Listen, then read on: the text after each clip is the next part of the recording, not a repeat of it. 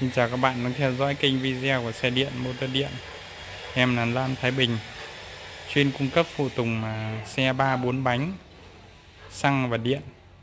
Xin giới thiệu với các bạn, đây là cái bộ à, xe điện 3 bánh, Loại à, tải trọng thường xuyên từ 7 tạ trở lên Cho đến 1 tấn hơn.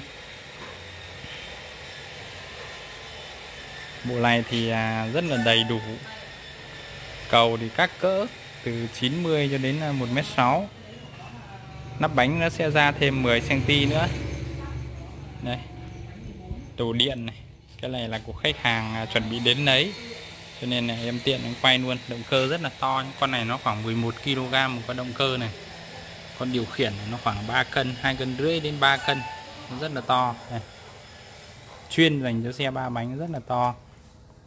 Dòng này của nó là điều khiển à, 30 sò. Đấy. đây, đèn à, hậu này. Nhíp thì à, nhíp hàng nhập 8 ná. Đấy. dài 75 cm loại này thì rất là khỏe. Bản 6 cm nha các bạn nhé. Bản 6 và bản 5 nó khác nhau rất là nhiều cùng một loại nhíp cùng số nhíp nhưng bản 5 và bản 6 thì tải trọng nó phải chênh nhau đến 3 400 cân. Loại này thì à, tầm một tấn hơn một tấn không vấn đề gì cả. Đây là điện đấu lối sẵn hết cho khách hàng rồi. Đồng hồ điện tử các bạn nhé. Đây đồng hồ màn hình điện tử này. Đấy. càng giảm sóc ống bi các thứ là đầy đủ chắn bùn này, ghi đông này. Bánh xe có hết nhé bộ này coi như là đầy đủ. Động cơ là công suất 2000W 60V 2000W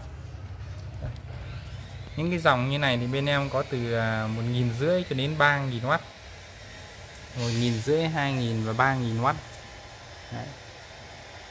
thường thường thì khách hay dùng 2.000 thôi. Dùng 3.000 thì cho nó khỏe thôi chứ còn à, cây cầu này thì nó cũng chỉ à, khuyến khuyến cáo các bạn. Chỉ chở hơn một tấn một chút thôi chứ à, một tấn rưỡi là cũng à, vẫn cứ được thế nhưng mà nó lên giới hạn của nó. Tất nhiên là mình chở tối đa thì nó vẫn có thể hơn đấy, nhưng mà mình khuyến cáo để trong cái giải chở hàng đấy. Thì mọi chi tiết đặt hàng thì và giá cả. Xin liên hệ 0983 818 955 đấy đây là các cái bánh xe của nó này.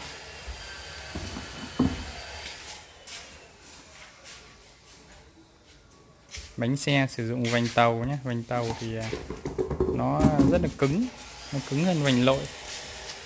Đấy vành tàu thì nó giật những cái gân tăng cứng này. Và cái chất thép của nó sẽ tốt hơn hẳn so với cái vành à, hàng, hàng, hàng lội các bạn nhé nó có những cái gân tăng cứng này. Đấy. mình cứ gọi là vành nhập khẩu đi cho nó, nó dễ hiểu. Còn cái vành lội mình làm ấy thì nó là phẳng luôn. Trên một cái bề mặt phẳng ấy dù các bạn làm sắt dày hơn đấy lặng hơn đấy nhưng cái độ cứng thì chưa chắc đã hơn bởi vì mặt phẳng thì thì bao giờ cũng chịu tải kém hơn những cái bề mặt cong.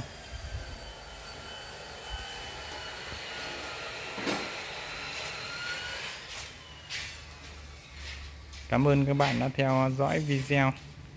À, bạn nào à, các bạn à, chưa đăng ký kênh thì nhớ à, nhấn đăng ký kênh và bật thêm cái chuông thông báo nữa. Thì khi video mới đăng lên thì sẽ nhận được thông báo. Đây là lốp sau này. Lốp sau này là lốp à, có tải trọng này. 600 kg trên một bánh nhé Đấy, tải trọng 600 kg tức là khoảng hơn một tấn một bánh nốp này là nốp hàng xịn của Casumila này.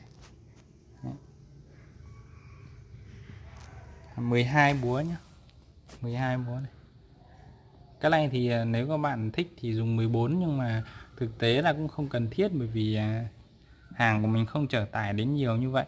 Cho nên là không nhất thiết là phải dùng đến 12 đến 14 14 búa. À, mình làm vừa tầm thì giá thành nó vừa phải.